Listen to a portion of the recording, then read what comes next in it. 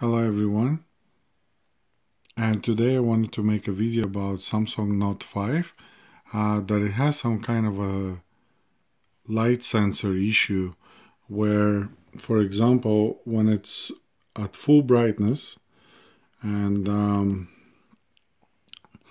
at full brightness and when there is a sunlight applied to the sensor it will change to washed up colors um, it still affects the sensor still controls the backlight um, to some washed up colors. And um, this one is a defective phone as is doing that.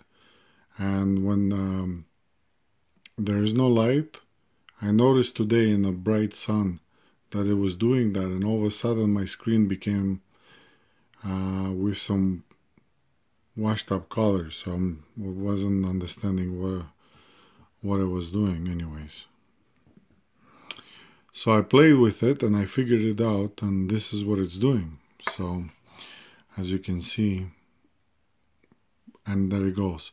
Now another note 5 uh, I grabbed from my girlfriend who luckily for me has the same phone as me and she has a note 5 and I put it to the same test um, all the way uh, however, it changes slightly, not washed up colors.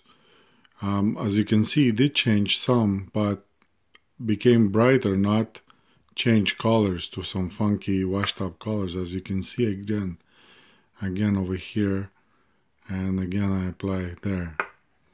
So, which is perfect. This is how I want my phone to be. Um, however, this one it does that. Now I found a way to fix this.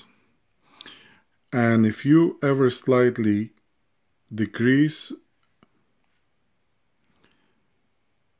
the brightness to like say 99% and do the same thing the sensor stops working completely.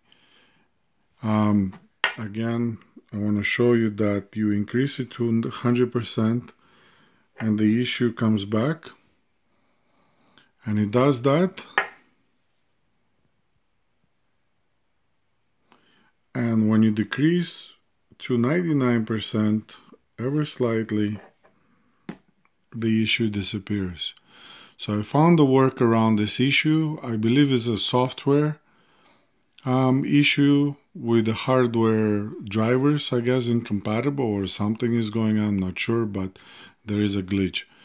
Um, so I just wanted to show how to work around this issue.